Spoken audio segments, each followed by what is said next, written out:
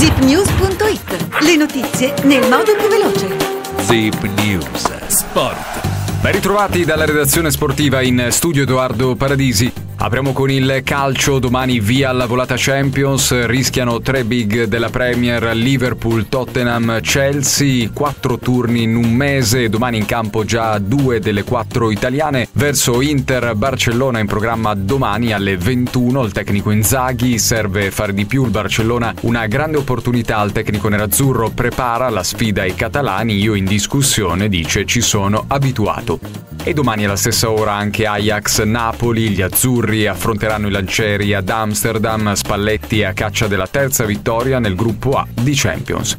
E mercoledì invece il Milan farà visita al Chelsea mentre la Juventus ospiterà il Maccabi Haifa. I mondiali di pallavolo pocherissimo dell'Italia, 5 vittorie su 5, i Paesi Bassi liquidati 3 a 1, le azzurre chiudono da capolista il girone di qualificazione, prima sfida della fase 2 domani alle 17.15 contro il Brasile. Il tennis, Bolelli e Fognini ancora in corsa per le ATP Finals di Torino, sono già qualificati gli spagnoli Carlos Alcaraz e Rafa Nadal, il norvegese Casper Ruud e il greco Stefanos Tsitsipas.